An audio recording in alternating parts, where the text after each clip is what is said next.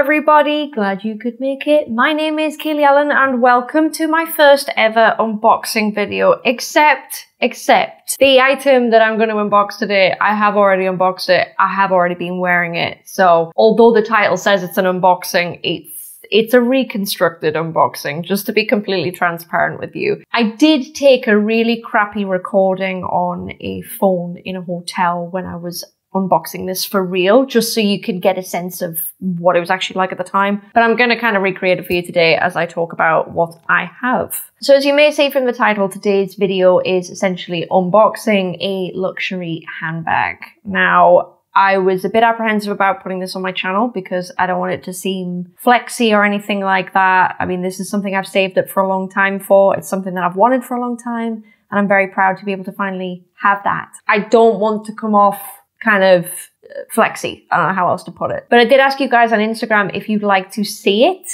because I think I posted an image of myself when I was out shopping when I made this purchase. I think I put it on my Instagram stories and you guys said that you did want to see it. So I think let's do it. So a little bit of a, a background. I'll try not to take too long, but I've been into luxury handbags not for that long.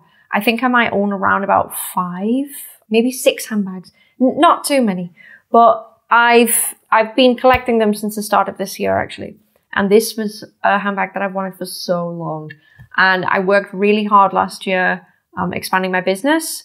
If you don't know, if, if you don't actually watch my main channel, I run a plant shop and I spent all year expanding my business and moving to a new place. And it just, I looked terrible all year. I didn't buy anything. I didn't do anything. I just worked. So at the start of this year, I cleared out my wardrobe. I decided what my 31 year old style was and I kind of went for it. And I invest a lot more money in myself now than I think I used to, like skincare, hair care, makeup, clothing, extras like bags and stuff like that. So that's kind of what I'm into now. And I want to tell you a little bit about what I bought. So this handbag I did see in January, as soon as I got into handbags, I found out about this handbag. I, I wanted it for so long. I, I showed this bag to a few people and they were like, no, don't like it, don't want it. Um, but it didn't really put me off. So I decided to save and save and save. Now I went into the Dior store and tried this bag on possibly in March or April. But I tried it on a while ago and I was like, yes, okay, now I definitely know that I want this bag. So I kept saving up for it. And as of about a week ago, I was able to finally walk back into Dior and buy this bag. Now, before I get into it, a few people asked me, you know, what was the experience like in Dior? So I thought I'd tell you a little bit about it because Dior was quite a prominent choice for me in terms of like not buying something pre-loved and actually like going into a store.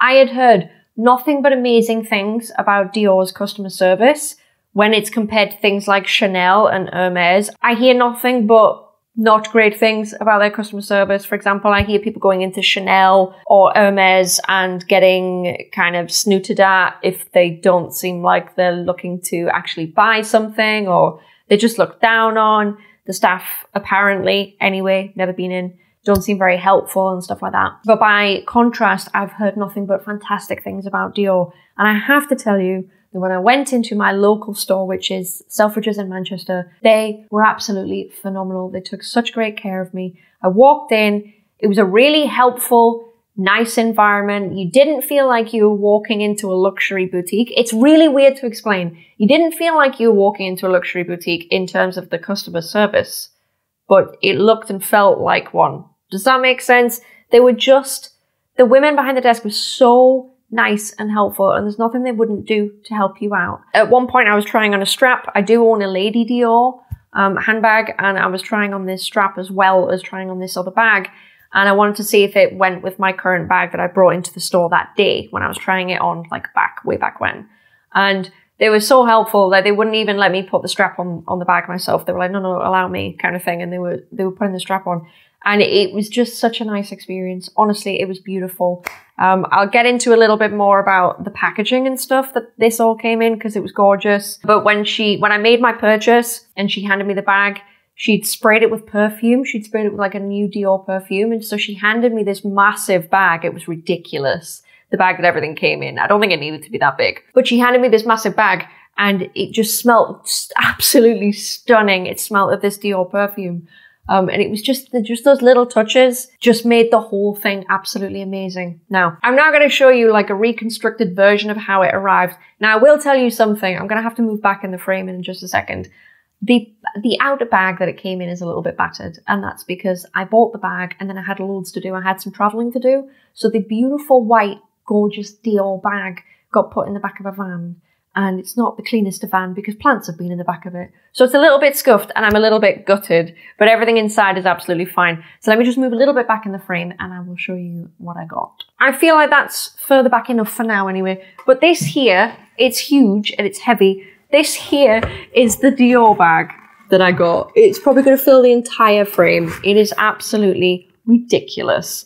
So that's what that was. Um, you may have seen it on the image when I, you know, I, I, was shopping and I put it on my Instagram. It's just ridiculous. It was really hard to carry around as well because I wasn't actually done with my day. I had a few things to do. So this was actually really hard to carry, but I got handed this. It had a beautiful bow on the top. I haven't done it quite as well as what it was but it was really, really pretty. And the scent that wafted off the bag was ridiculous. Let me undo this. This is a beautiful Dior ribbon that it comes with. Hopefully you can see how gorgeous it is. Very, very pretty ribbon. Love that. I'll keep that in the box. And inside the box, I have, I think I have the authenticity card because it came out of the bag and I had to pull out last minute, but that's what's in there. I'll show you that a little bit later. So I will pull everything out of the box because I'm really too far back in the frame.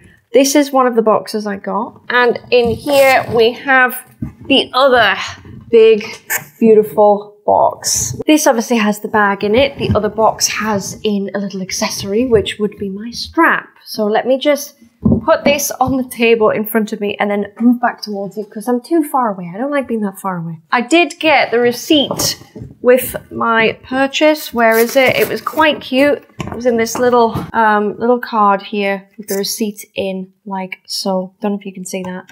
But you should always keep your receipts when you make purchases like this. I mean, you should keep your receipts anyway, obviously. But when you make purchases like this, it's very important because if you ever come to resell any of your stuff, it just really adds value to your your resell, your resale, your it adds more value to your stuff anyway when you if you want to list it again as pre-loved or whatever. Especially if you keep the packaging as well. People love that when they buy um pre-loved. So that's a really good tip if you want to keep all your packaging. I'm certainly keeping mine because it's absolutely stunning. And it's not every day that I'm going to be receiving something as awesome as this.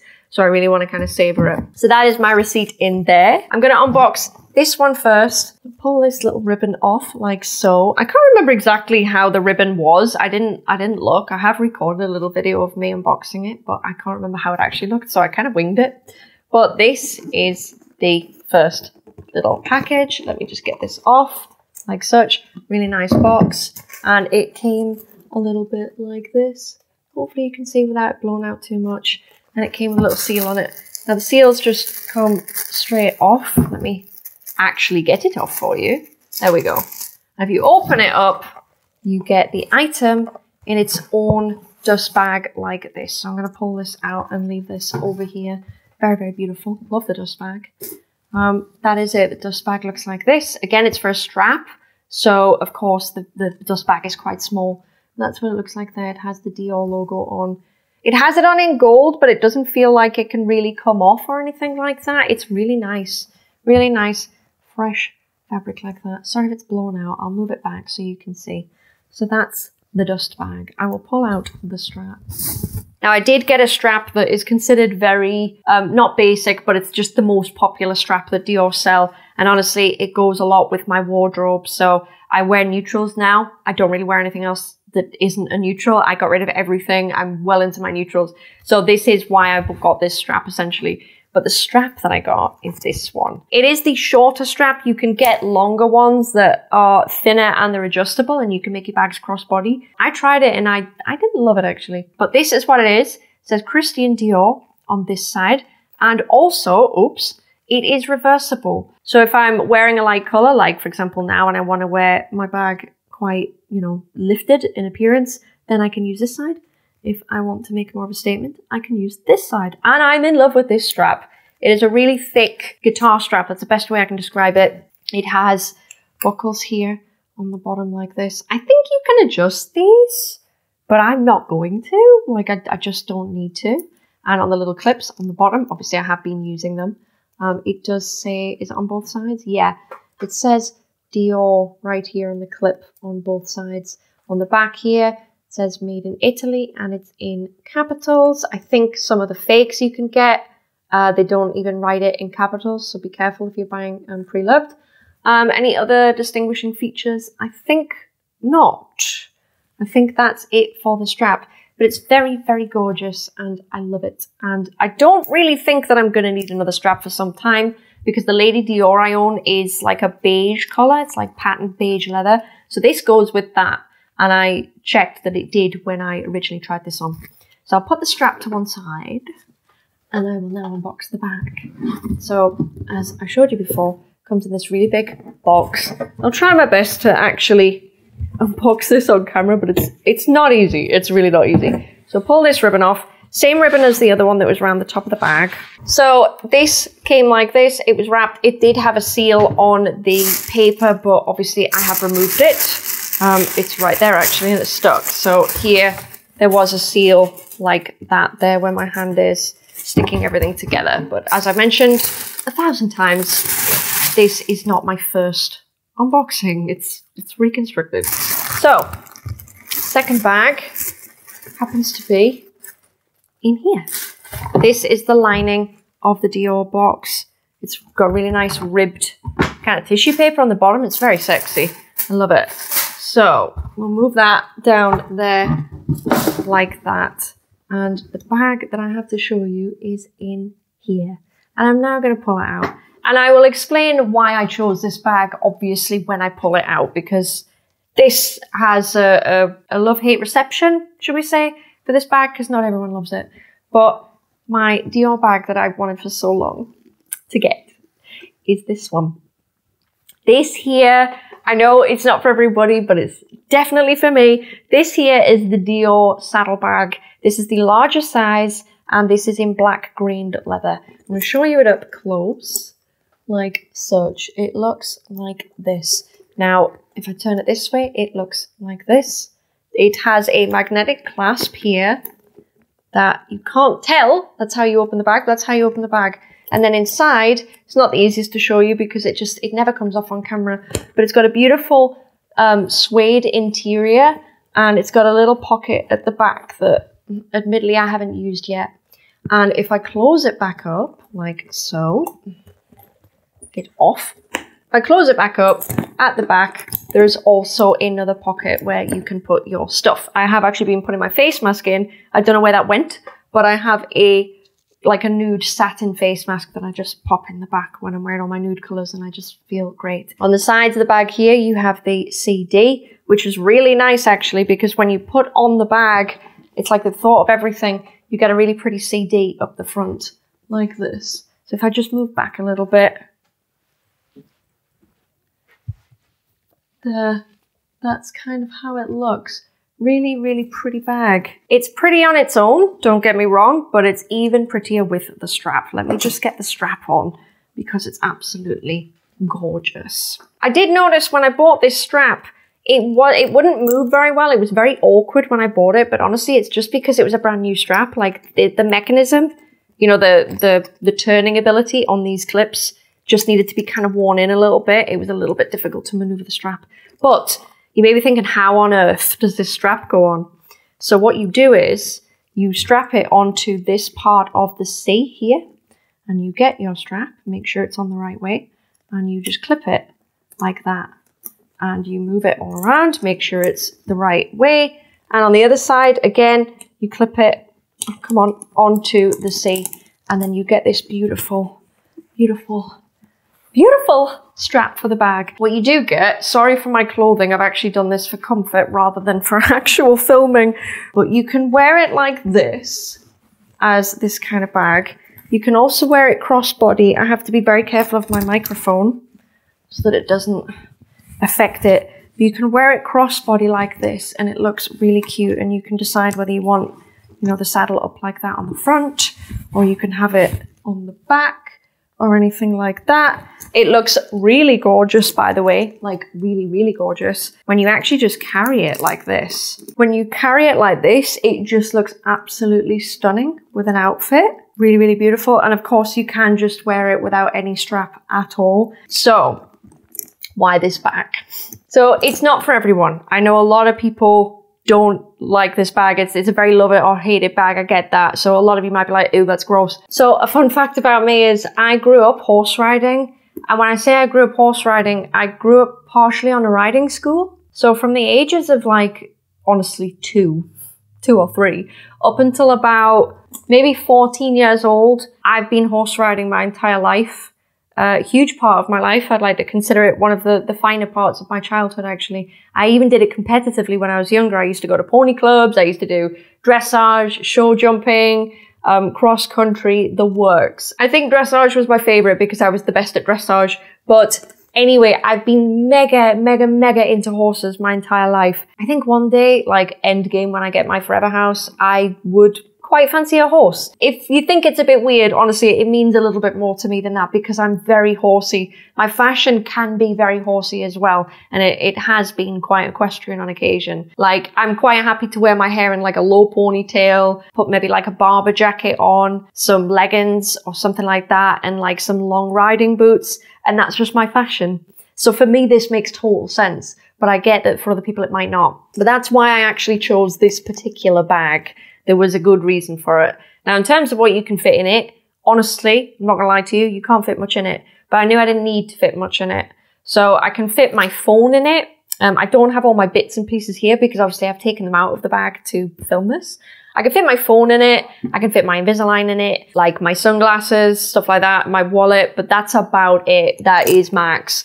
So it doesn't fit a lot in it, but honestly, I don't care. This bag is the most beautiful, beautiful bag ever. I've never spent this much money on a bag, and honestly, I thought I was really kind of worried that when I left Dior, like later on that day, I might have like a panic attack and like regret my purchase, but I just haven't. I really haven't. So let me put this back down and I will show you the best I can what comes in this little envelope, which was in the bag. And it should be, yeah, there's an authenticity card in here and something else. So let's have a look. That just says Dior 9 on it.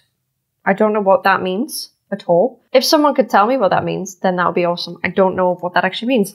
Um, I get a, what is this? It's like a little booklet. Care guidelines. Oh, okay. So it's how to care for it. Awesome. Beautiful. Love that. And the last thing, of course, that you would expect to um, to get in here would be the authenticity card, which is here. Now, I am going to partially cover it because it's very important that I do cover it, but I'm going to cover it like that. So that's what's on the back of the authenticity card. That basically says where I bought it. So that's Selfridges, Manchester. Hopefully that that's viewable on there. And then here there is a barcode, um, the date, which is the 3rd of the 6th, 2021, and a reference number at the bottom that, to be quite honest, even I can't read.